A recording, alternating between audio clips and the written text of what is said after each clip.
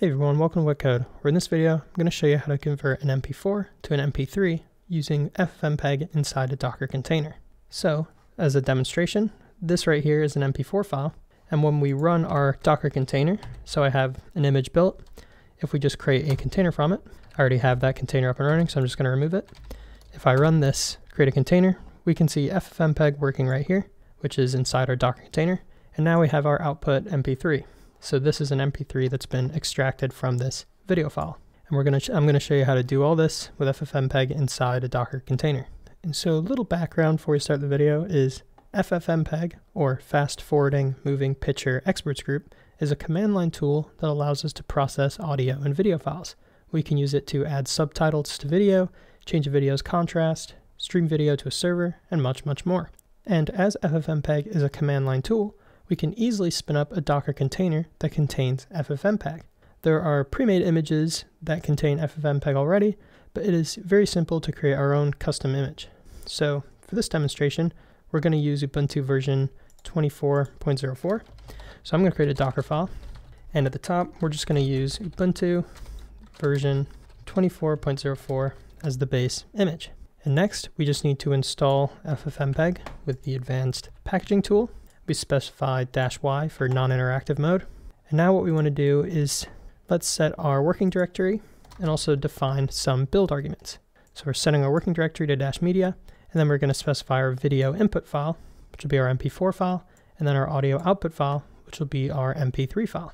And right here, so arg, these are build arguments, and they're supplied to Docker at build time. These are going to be the input MP4 file and the output MP3 file. However, build arguments are used at build time and not at runtime. And this is an issue because we will run ffmpeg at runtime with the entry point command, which we'll see a bit in a bit later on. But we can work around this by passing the build arguments as environment variables. So actually what we're going to have to do is after we get these arguments, we're going to have to create environment variables out of these. And environment variables with env are passed in as part of the environment, so they are available at runtime unlike build arguments, which are only available at build time. And so what we want to do is we want to copy over our video input file into our media working directory. And then all we need to do is just run a very simple command. So we're going to run ffmpeg, we're going to specify our video input file, and then our output is going to be our audio file. And dash y right here at the very end, it overwrites output files without asking, and we're doing this so we can run this multiple times without creating a new container. But all we need to do now is actually run this Docker command. So I'm going to paste it in right here. But before we do this, I'm going to get a video input file to run this against. So right here, I just have an MP4 file, which is on a, it's a video I made earlier on. But what I'm going to do is for the build argument for the video input, I'm going to take the name let me pull this up just in case I'm blocking the command. And I'm going to paste it in right here. And then for our output file, I'm just going to call it my output.mp3. So now if we run this, we also have to tag on a dot to use our Docker file. So now we've built our image, which is called ffmpeg-i.